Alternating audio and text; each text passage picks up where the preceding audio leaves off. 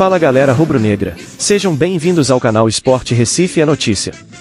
Vamos para mais uma notícia do Leão, mas antes, não esqueça de inscrever-se no canal, ativar as notificações, e deixar o seu like, e comentário. Assim, você fortalece nosso trabalho, e ainda fica por dentro de tudo que rola nos bastidores do maior do Nordeste.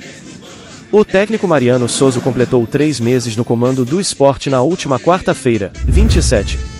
A vitória por 3 a 0 diante da Juazeirense garantiu ao Leão a liderança do Grupo A e, consequentemente, a vantagem do mando de campo nas quartas de final da competição.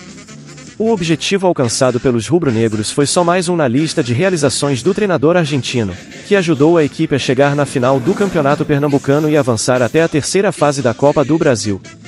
De acordo com Mariano Souza, o desafio de trabalhar no país pela primeira vez lhe traz diversos sentimentos, Exigência, humildade e entusiasmo foram algumas palavras usadas por ele para resumir este período.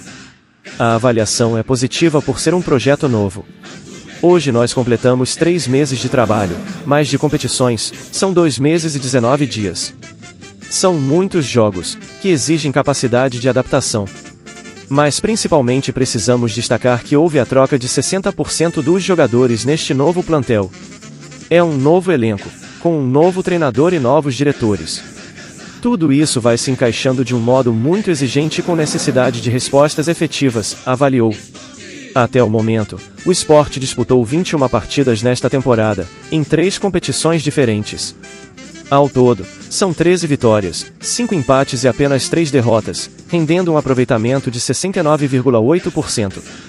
Uma característica particular no trabalho de Mariano Souza vem sendo a intensa rotação de elenco. Até o momento, o gringo não repetiu uma escalação sequer. O significado de coletividade é a defesa usada por ele para justificar a proposta. Eu gosto muito do plantel que eu faço a gestão. Gosto muito da tarefa diária com eles. Dos funcionários do clube, de dividir com eles. É uma tarefa coletiva. Eu tenho que ser modesto, com humildade.